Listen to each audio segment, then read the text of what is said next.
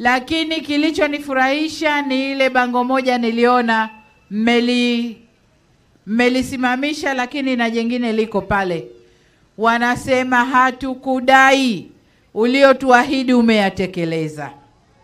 Kwa hiyo hiyo imenifurahisha na ina maana kazi imefanyika.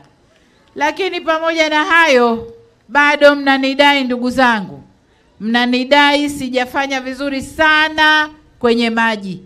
Bado si kila mtu amepata maji ndani ya mkoa wa Morogoro, lakini kazi inaendelea, kazi inaendelea. Kuna miradi mingi sana, nimeshashusha fedha nyingi sana, nimeleta miradi inaendelea. Nadhani mwisho wa mwaka mwakani Morogoro yote itakuwa inapata maji vizuri.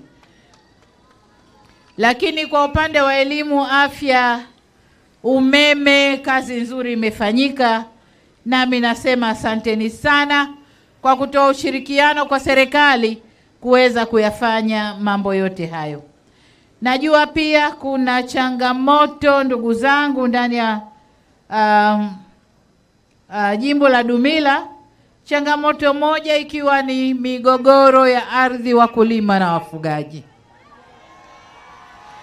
Najua kwamba hiyo bado ni changamoto, lakini ni waahidi tunakwenda kuifanyia kazi.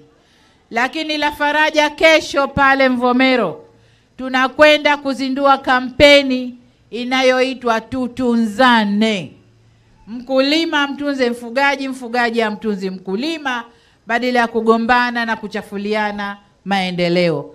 Kwa hiyo hiyo kampeni nikiizindua, nitataka itekelezwe ndani ya Morogoro yote, kampeni ya tutunzane, kuondosha hii migogoro.